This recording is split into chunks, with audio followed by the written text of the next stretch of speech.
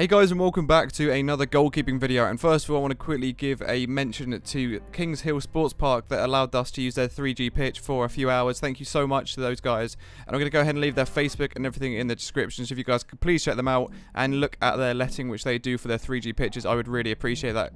But anyway guys, today it is episode 2 or it's just the second video of goalkeeping on my channel. I haven't really done too many of these before and you guys know I haven't played in years so this is my second time playing in like six years.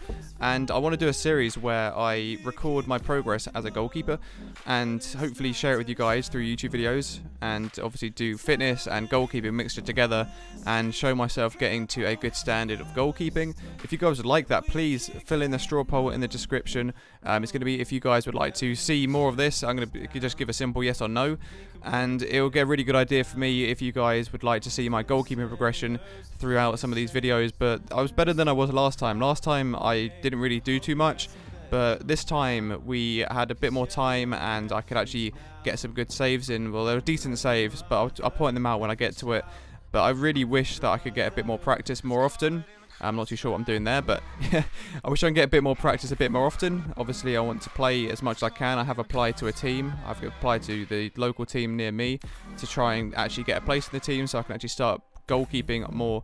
And I think it's quite a nice save. Just managed to put it over the crossbar. Pretty simple, but you know, it's just one of those things. I've got to try and get my positioning right and hopefully work on that. And there's another one right here. This is this is where my dive wasn't that good.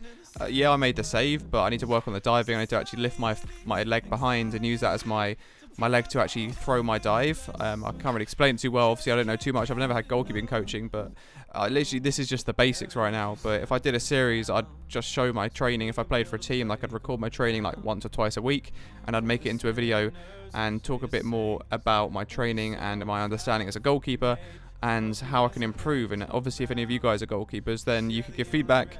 I know I know a couple of goalkeepers. I don't know if they'll be watching this, but I know a couple and I'll be looking forward to getting better as a keeper because it's always something that I've wanted to do. I love playing football, and I just hopefully can get into some more fitness and stuff like that as well. Nice save as well here.